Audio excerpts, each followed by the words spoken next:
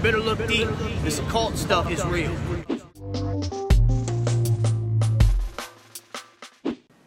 Another thing to note is that when these entities talk, I've always found that it's through a sort of metaphoric style of speech. Um, this leans more toward the theory that they may be psychological in nature, that it might just be a part of your subconscious, because the subconscious loves symbols and metaphors. But it could also just be that they don't relate very well to our reality, and to try to explain things, they use analogy. But it's important to remember this if you can actually hear them, that what you're hearing is their attempt to explain in concepts you know something you don't know. So it isn't to be taken literally so much as allegorically.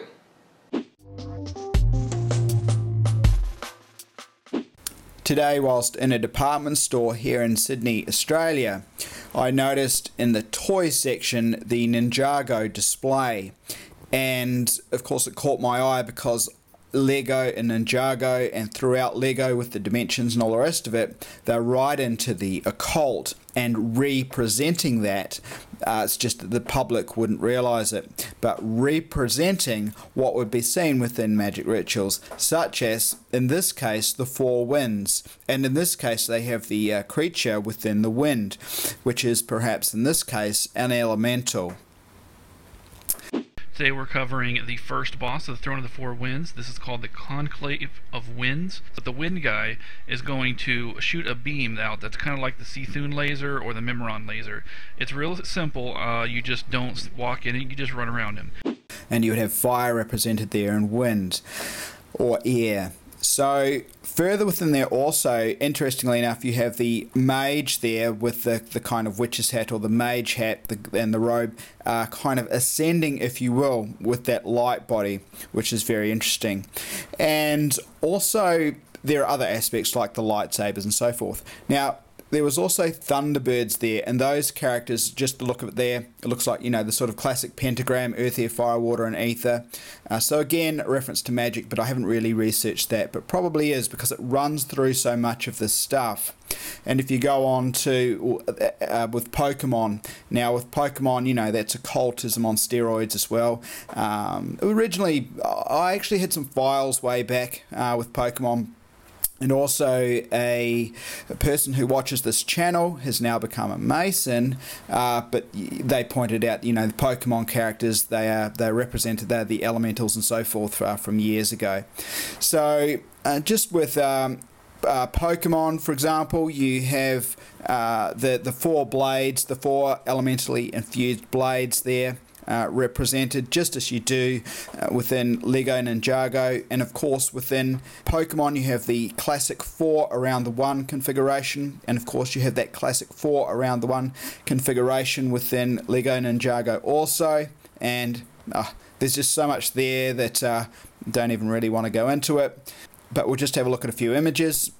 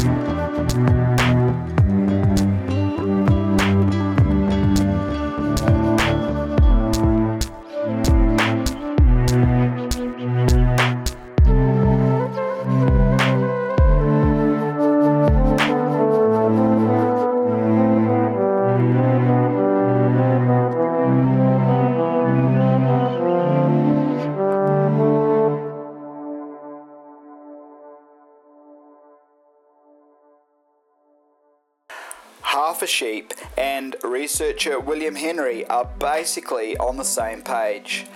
Researcher William Henry recognizes the human body as a Stargate tool, the completely activated chakra system being the fractally self similar pillar, arc, and tablet he believes necessary to open the gate.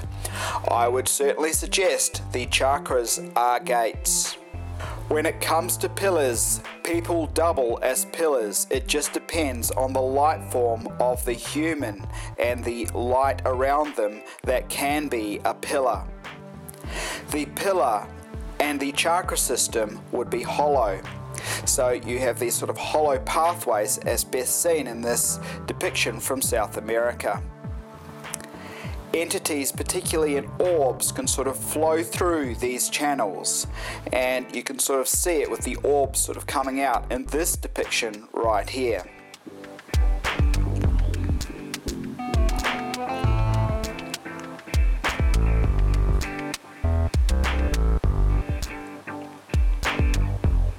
Here you can see hollow pillars, and here you can see an orb that is sort of uh, coming out partially from the top of the pillar. And in this case, it's further out. And then in this case, you can see those orbs are even further out of the pillar.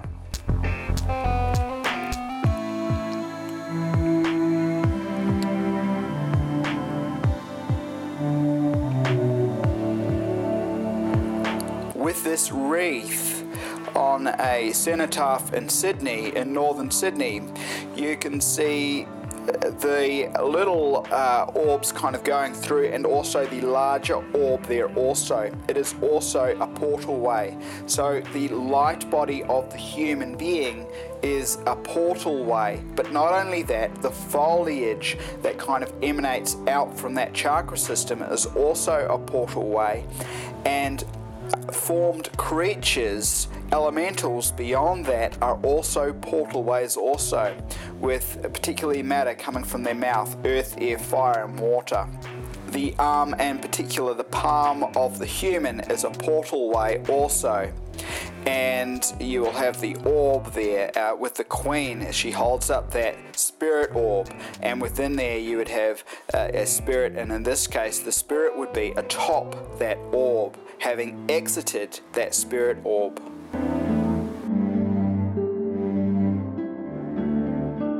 You better look deep. This occult stuff is real.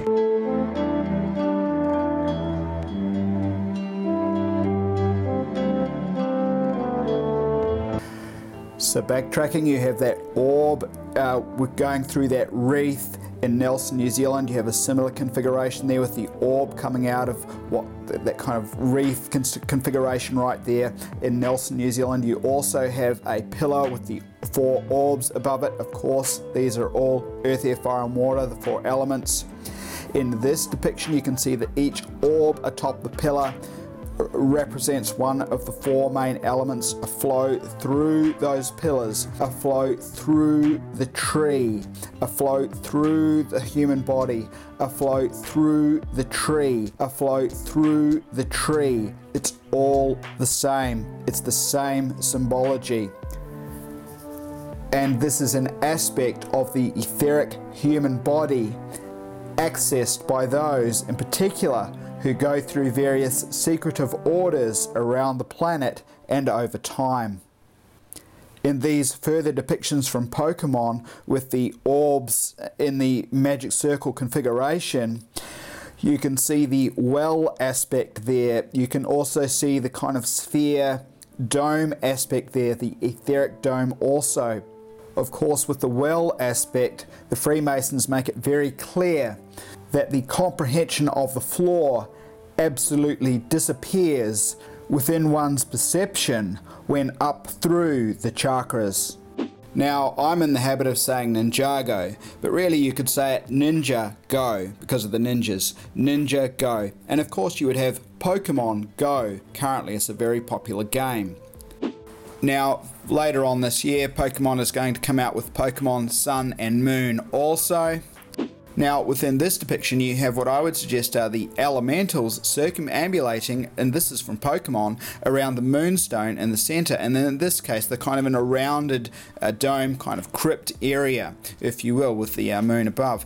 Now, in Canberra, they had a, a, similar configuration with the moonstone in the centre, and the people would sit around the outside there uh, within this pyramid at Canberra, and the sun would go over and change the, the lighting in there and affect the sort of ritual space, if you will.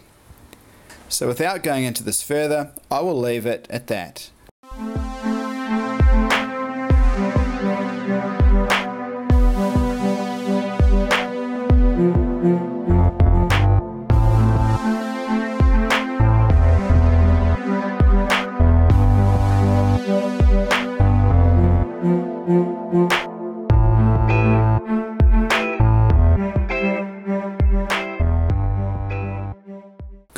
For now.